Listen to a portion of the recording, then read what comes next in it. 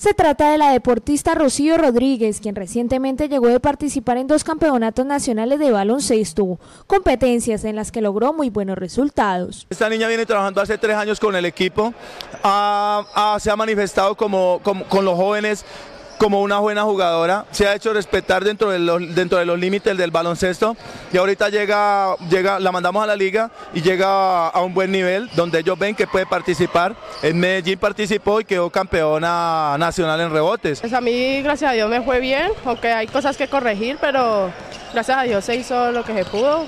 Sí, me fue bien. Eh, la preparación fue muy dura, pues estrictamente para que nos dieran los resultados allá jugando. Gracias a su buen desempeño en los campeonatos, siendo parte de la selección Valle, la tulueña Rocío Rodríguez ahora está convocada a la selección Colombia, lo que representa un gran logro para el equipo de la Villa de Céspedes. Ella acaba de participar en dos, en dos nacionales con Liga del Valle y ya fue preseleccionada a una selección Colombia. Sé que ya tenemos una jugadora en la selección Colombia que hace muchos años Tuluá no tenía. Preparándome duro, ¿no? Porque ahora se viene en octubre, el sub-17 y también la clasificación para, para las convocatorias de la Selección Colombia, entonces hay que entrenar duro y fuerte. Esta joven deportista que superó a dos grandes jugadoras de Medellín durante el campeonato nacional espera ser parte de la selección tricolor y representar de la mejor manera el corazón del Valle.